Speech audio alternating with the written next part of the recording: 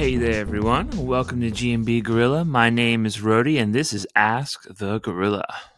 So today I'm going to teach you about what your Google My Business URL is and how to find it. So let's go ahead and get started. So the first thing you want to do is make sure that you're at business.google.com right up here in the address bar. Go ahead and check that. Make sure you're at Google My Business and make sure you are at your business's dashboard, right? So if you want to find the link, it's actually very easy. Click on info right here on the left hand side. Navigate up here to your business is live on Google right below that. Click on share your business profile. Now, all you have to do is click here to copy the link, right? You can control C, however you like, and you can attach this to anywhere to link back to your GMB profile on the web. All right, it's as simple as that. You can go ahead and save this if you like somewhere so it's easy to find.